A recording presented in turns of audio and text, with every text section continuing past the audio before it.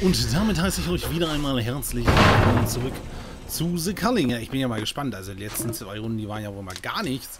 Immer direkt zweite Kampf verloren. Äh, äh, irgendwie mal Lasted versaut. Richtiger El Elendskram. So wirklich. Mm. Kassel. Muss mich erst richtig warm schwingen, habe ich so das Gefühl. Nämlich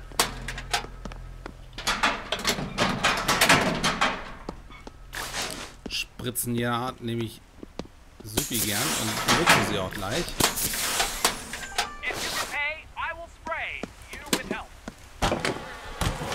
Weil da draußen jemand sich Sachen bastelt.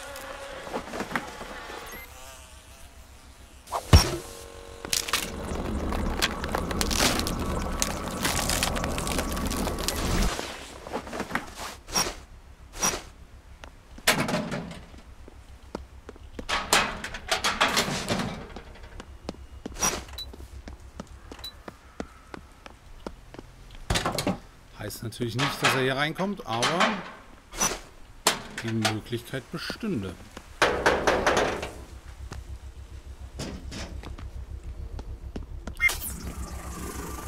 Und wenn er dies täte, wäre dies nicht sehr schön für mich. So. Mit den Spritzen sind wir ganz gut vorbereitet. Hier ist sogar noch eine rote, die sich als grüne tarnt. Ich gehe mal Sachen verkaufen. Äh, Hangman Striker hätte ich fast gesagt. Den Alarmgun werde ich erstmal ein bisschen behalten.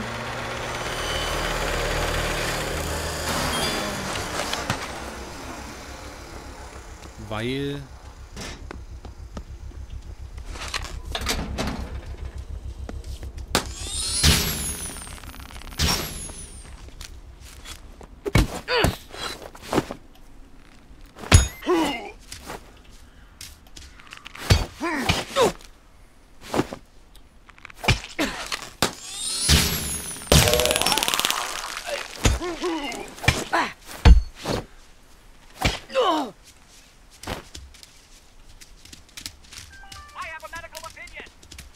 Nicht ich bin das Problem, mein Freund. An opponent just killed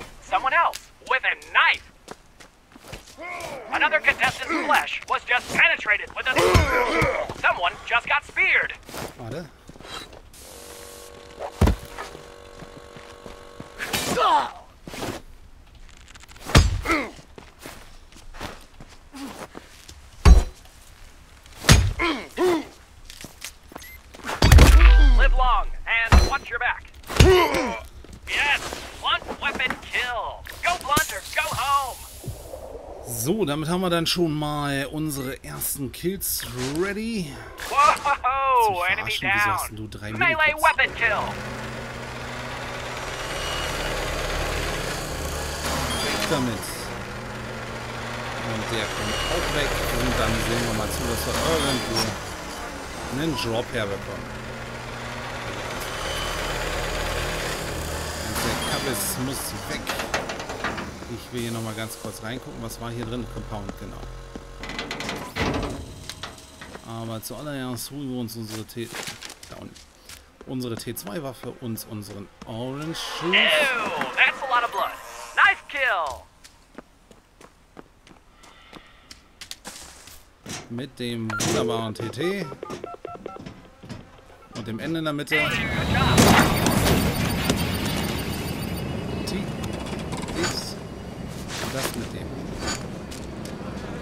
Das nehmen wir auch noch mit. Und jetzt suchen wir uns das nächste Opfer. Schade eigentlich, dass er den einen Kill gekriegt hat von uns. Kam ich einen Schlag zu spät. Ich wollte ihn eigentlich backstabben und dann den anderen killen. Also ich wollte seinen aufgeladenen Schlag quasi abbrechen. Aber ich muss ehrlich sein, ich habe nicht richtig gehört, dass die zu den Automaten gelaufen sind. Ich dachte, der eine wäre ganz nah hinter mir. Oh no!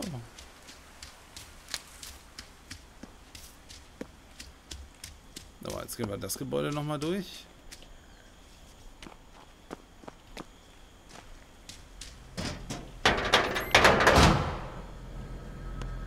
Was haben wir da? Silver Spear.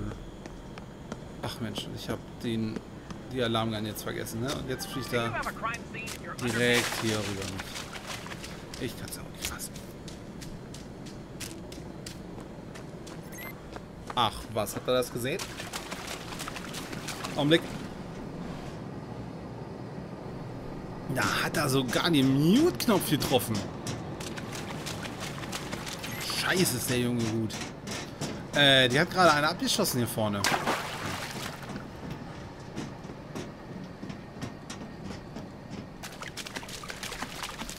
Wollen wir mal gucken, ob wir den Jungen treffen.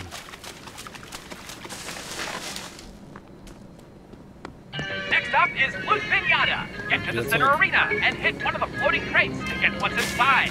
Loot Pinata!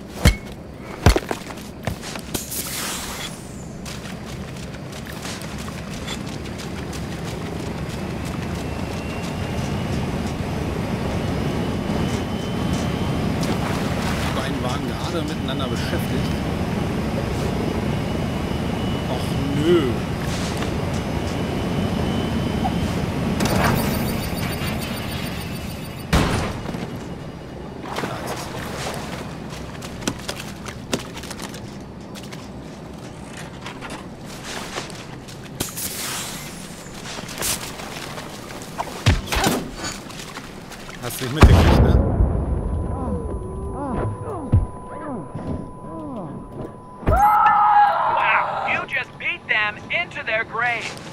Ashes to ashes, dust to dust in the wind. The. Okay, ich komme gleich wieder. Ich werde nur mal ganz kurz hier draus eine Body Armor machen dann schnappe ich mir den Bogen.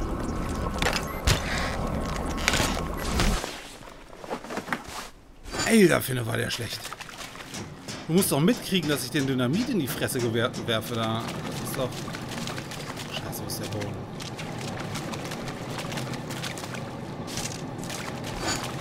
Das kannst du doch nicht bringen. Trottel. So, da ich das nicht mitschleppen will, bleibt mir nur das übrig. Augenblick, ich verkaufe noch ganz kurz das Ding. Die Pipe. Der Ohrenschuss hält sowieso noch.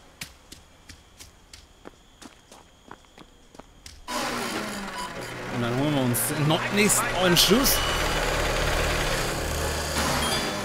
Aus der nächsten Kiste.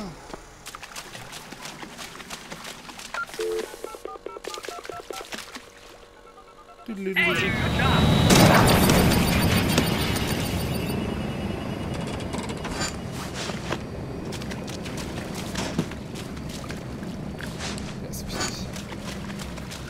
Ja, meine lieben Freunde, wir haben eigentlich, ja, sind wir wieder mal ganz gut ausgestattet. Das Dynamit ist zwar jetzt nicht mehr ganz so stark, bringt nur noch 75 Schaden.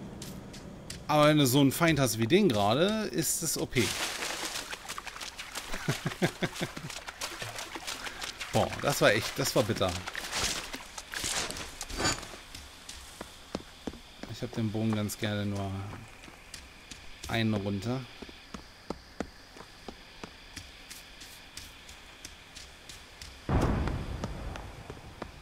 Da macht irgendjemand Truhen auf.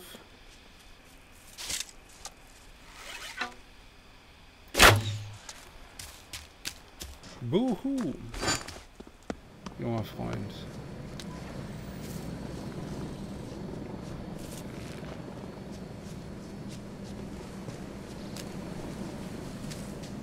Da bist du ja. Jetzt bleib doch mal stehen.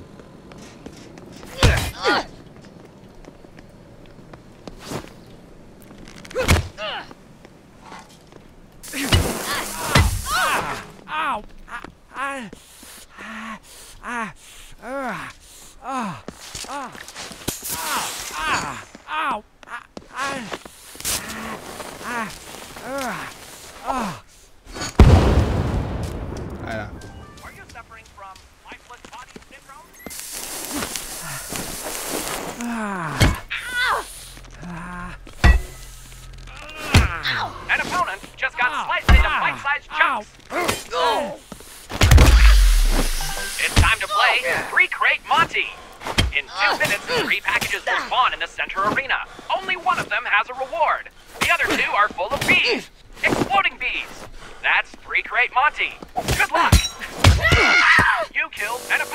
with a melee weapon. Yep, hat er.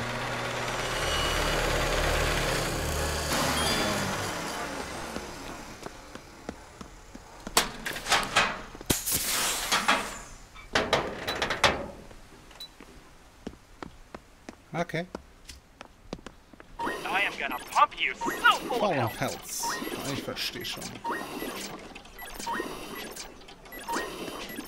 Ich kann das schon nachvollziehen, was du mir so... Aha. Ja, ja. Mhm. Aber ich bin nicht deine Bitch. Elendiger Automat. So, wir gucken mal ganz kurz. Wir haben hier ein Pfefferspray, wir haben hier einen alten Bogen. Alles nicht so pralle. Der wird natürlich wieder verkauft. Und wir suchen uns den nächsten. Der OG muss immer ab sein, sonst funktioniert das hier nicht. Mantracker wäre natürlich ganz geil gewesen, aber kann halt nicht alles haben. Ach was, hätte ich den in der Luft aufmachen können?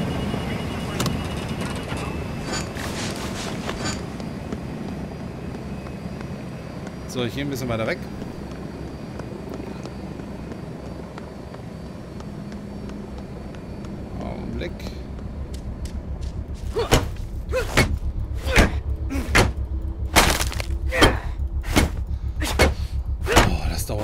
Dauert immer mit dem Scheiß, ne?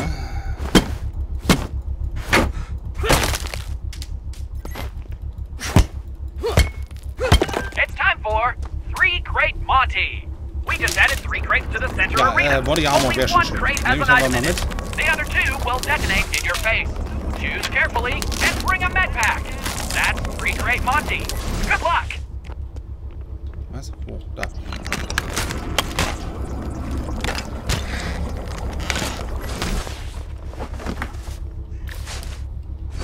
Na dann. Würde ich sagen, Street Cape Monty. Ab geht er.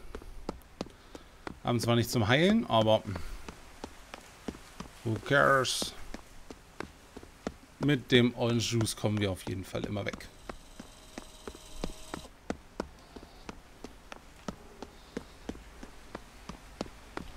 Wir haben noch vier Gegner.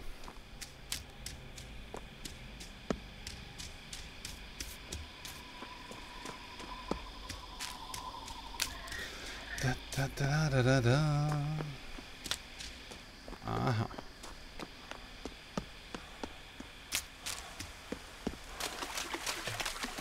So, sparen wir ein bisschen Ausdauer. Wer weiß, wer hier so rumlungert. Und darauf warten, dass arme hoffnungslose Seelen kommen. Und diese komischen Truhen öffnen.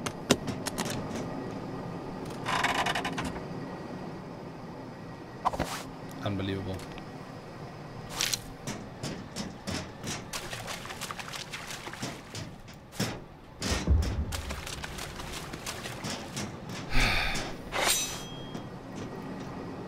Ich habe jemanden aus der Richtung gehört.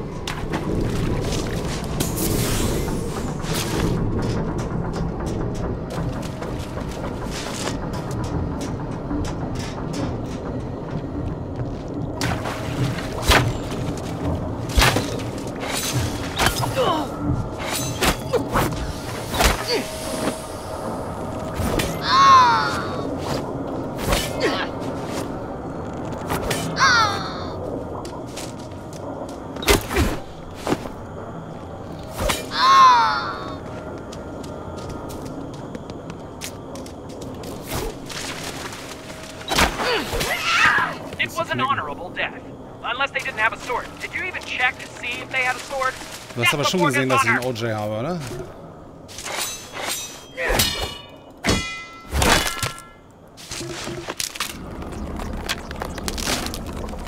So, jetzt ist auch wieder mal die Zeit angebrochen, wo ich sage, ey, die beste Variante wäre natürlich, wenn die beiden gegeneinander kämpfen und ich mit meinem Dynamit den Rest erledigen.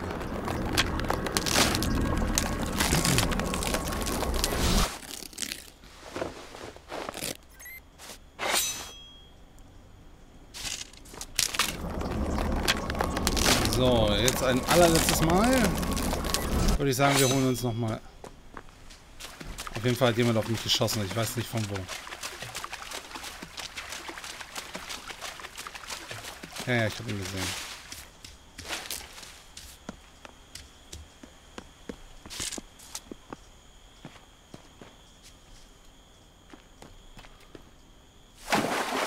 Stand da rechts im Walde.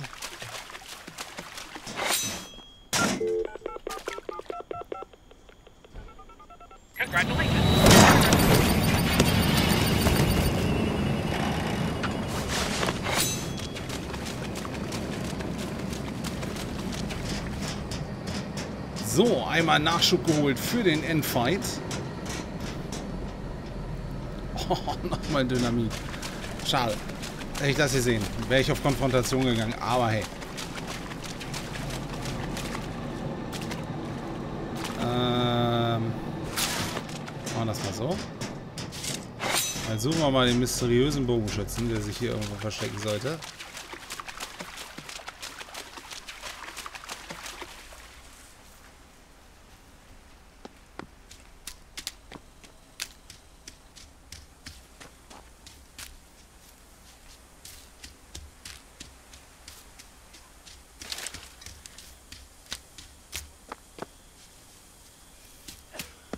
Da.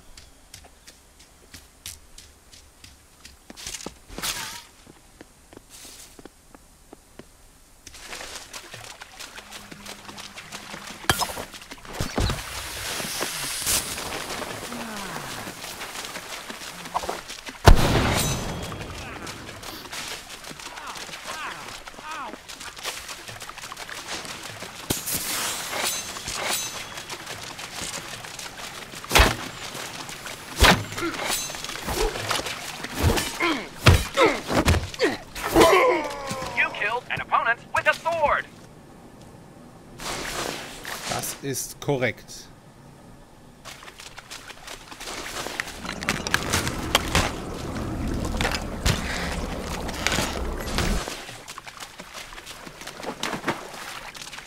Tja, ob sich der Letzte jetzt zu erkennen gibt, ob der hier auf der Insel war und oder nicht.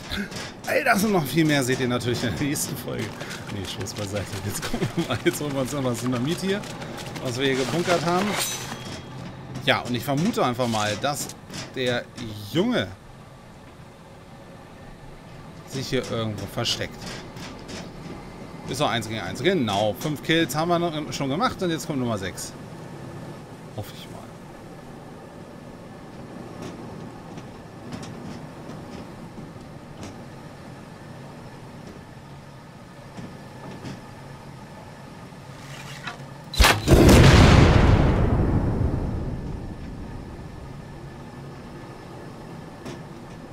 Mein Kleiner, ich möchte dich nur darauf hinweisen, ich habe jede Menge Dynamit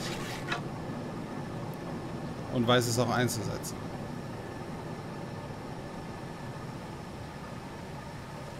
Und ja, ich habe dich gesehen.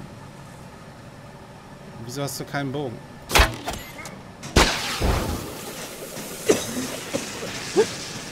Man machen.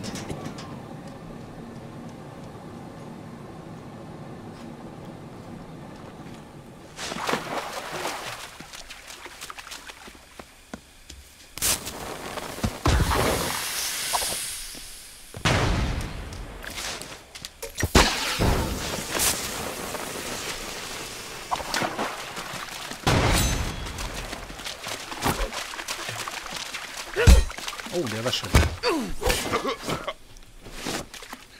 Hey Joe.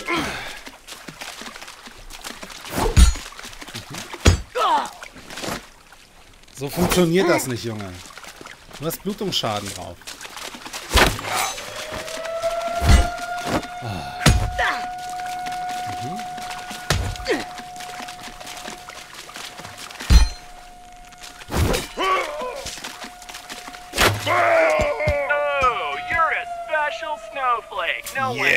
One's ever done that before. Alright. 6 Kills, 615 Schaden in 20 Minuten. Das war natürlich ein Rang S-Match. Meine Fresse. Ich weiß gar nicht, wie viele Airdrops haben wir gerufen? Vier oder fünf? Auf jeden Fall, genau so muss man den Porthead spielen. Auf die Fresse neun rufen, auf die Fresse neun rufen. Und alles, was man findet und kriegen kann, nehmen wir natürlich mit. Ich will jetzt mal nicht sagen, dass hier die äh, Sachen, die wir so random bekommen haben, gar nicht schlecht waren, wie zum Beispiel das Dynamit. Äh, der Zepper ist natürlich immer noch einer mit der stärksten Airdrops überhaupt. Ist eigentlich ein Safe-Kill. Ähm, ansonsten, ja, eigentlich haben wir ja sieben, aber naja, gut, den ersten konnte ich halt nicht, nicht safen. Ich wollte da oben nicht weiter fighten und bin dann lieber weggelaufen. Aber wie gesagt, ich dachte, der wäre direkt hinter mir. Deswegen habe ich mich dann so schnell umgedreht und wollte weiterkämpfen, aber hm, no way. Ähm, was wollte ich noch sagen? Ich weiß es nicht. Ja, wie gesagt, der Kontrahent unten beim Zapper war natürlich nicht so der Hammer. Hm. Ich verstehe immer nicht, warum die Leute keinen Street Credit Monty spielen wollen. Nur weil sie da ein bisschen Schaden kriegen können. Das ist doch der totale Witz. Ich habe in diesem Ding gerade dreimal Dynamit, Iron Skin, zwei Gasgranaten, ähm, Caltraps und eine T4-Waffe gefunden. Ja. For free. Und keiner will sich darum prügeln, bis auf die, die das Dynamit nicht gecheckt hat, die junge Dame, die uns den Bogen geschenkt hat. Ist schon ganz schön bitter manchmal. Gut, meine lieben Freunde, das war eine Runde The Culling mit unserem wunderschönen Porthead. Ich gucke hier nochmal ganz kurz. So sieht das Ganze aus. So kann man den spielen, wenn man das denn gerne mal nachmachen möchte. Das ist der Airdrop. Das ist alles machbar. Ist ziemlich stark. Sollte man machen. Und sobald man ein, zwei Schläge hat und sollte dann selbst unterlegen sein, dann kann man halt diese asozialen Taktiken machen, wie zum Beispiel weglaufen. Ähm, ich habe auch Leute äh, gesehen, die das Ding hier auch so spielen. Ähm, definitiv der Submission ist halt äh, frei nach Wahl. Das habe ich da jetzt reingemacht. Da halt Chemiker und äh, Instant Airdrop, das ist halt Pflicht. Das andere Perk ist austauschbar. Die haben das halt genauso gespielt. Kämpfen gegen mich mit einem Orange Juice, verlieren und dann laufen sie mit 20 HP weg. Du kommst natürlich nicht hinterher. Heilen sich irgendwo und dann kommen sie wieder. Das ist und du kannst gar nicht so schnell hinterher, beziehungsweise du kannst dich gar, gar nicht so schnell gegenheilen, wie die dann wieder da sind. Ist alles ein bisschen ärgerlich, ist aber eine geile Taktik, wenn man sie selber spielt. Wenn nicht dagegen spielt. gut, ich bedanke mich bei euch fürs Zusehen. Macht es gut, bis zum nächsten Mal. Neuer Midnight. Ciao und nicht vergessen, kommentieren und kritisieren.